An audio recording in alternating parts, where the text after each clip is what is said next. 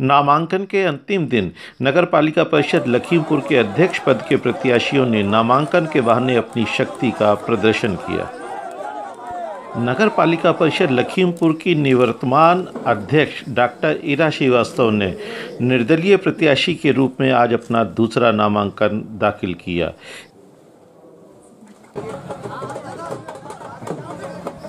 लखीमपुर से भाजपा प्रत्याशी निरुपमा मोनी वाजपेयी का नामांकन जलूस। ढोल नगाड़ों के बीच उत्साह भरे कार्यकर्ताओं के साथ नगर के मुख्य मार्गों पर निकला।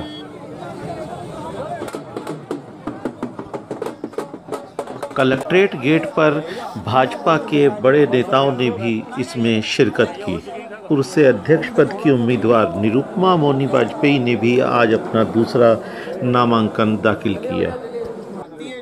पार्टी की नगर पालिका परिषद लखीमपुर से उम्मीदवार घोषित की गई निरुपमा मोनी वाजपेयी जी नामांकन कर इस समय हमारे साथ में हैं।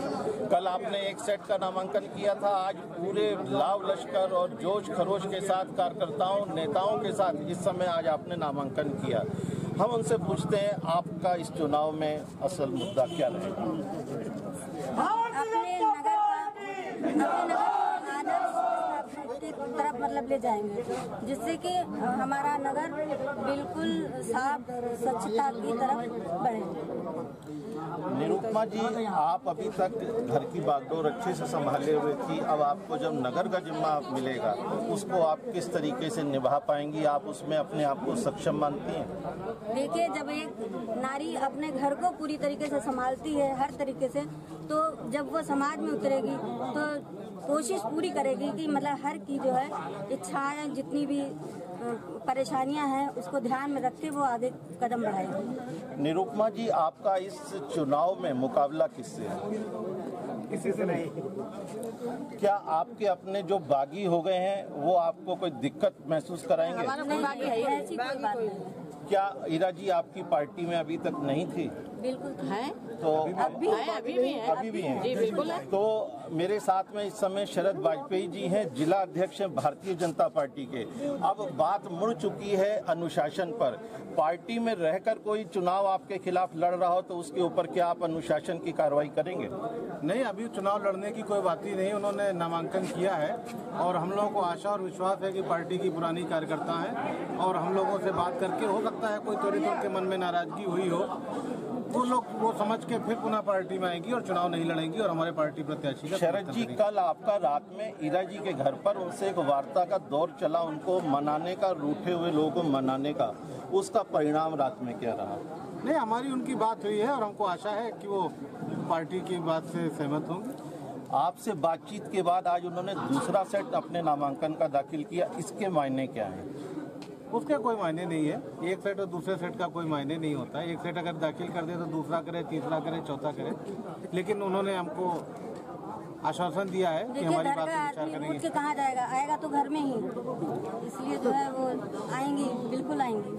रूठों को मनाने का सिलसिला अभी भी जारी है। आज नामांकन का आखिरी दिन है।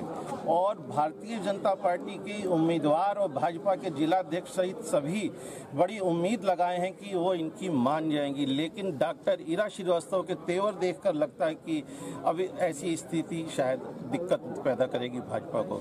My Lakhimpur Kheri dot com से संजीव पाहो।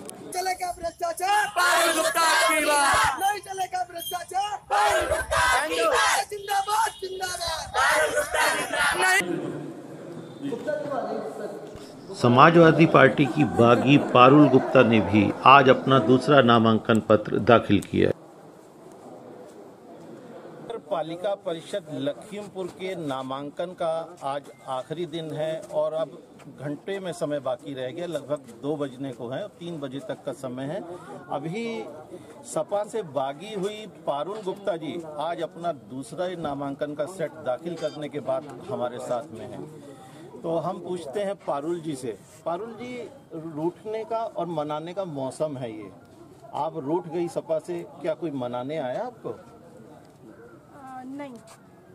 और ये रूठने वाले का जो भी मौसम आप कह रहे हैं, मेरे लिए वो मौसम मौसम कुछ नहीं है। मेरी बस एक ही नाराज़गी है जो शुरू से मैं एक ही बात कहती आई हूँ कि मेरी नाराज़गी पार्टी से नहीं है।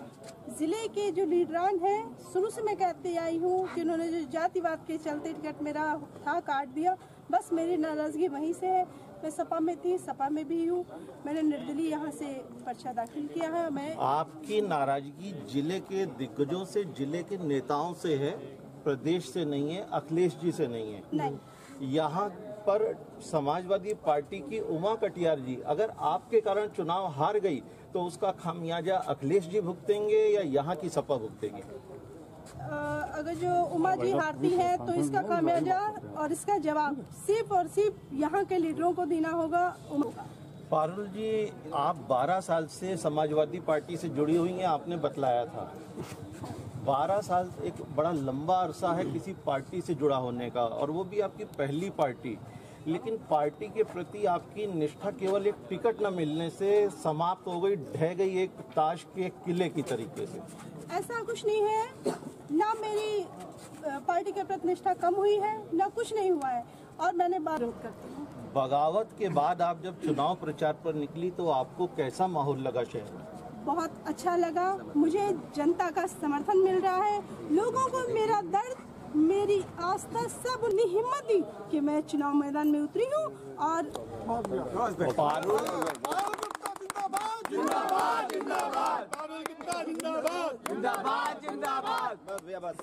पारुल जी वैश्य समाज से हैं और कहती हैं कि जब निकले प्रचार के लिए तो बड़ा समर्थन मिला। अखिल भारतीय वैश्य समाज के प्रदेश सचिव दिलीप राष्ट्रीय महासचिव दिलीप गुप्ता जी हमारे साथ में पूछते हैं उन्होंने क्या समर्थन दिया?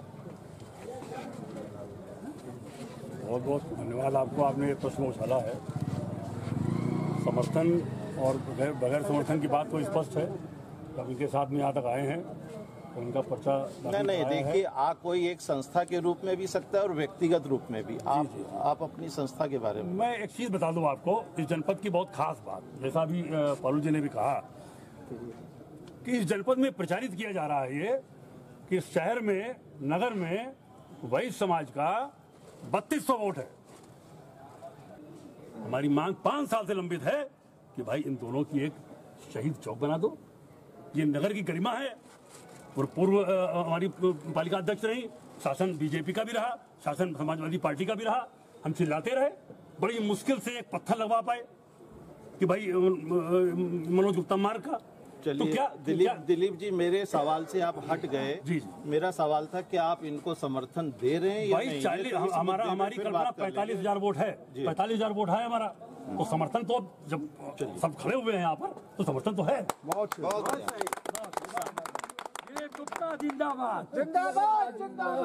बहुत बारह साल समाजवादी पार्टी में रही और टिकट न पाने से आहत पारुल गुप्ता के जख्मों पर लखीमपुर के मतदाता मरहम लगाते हैं या नहीं लगाते हैं, ये एक तारीख को, एक दिसंबर को स्पष्ट होगा। My Lakhimpur Kheri dot com से संजीव पावा।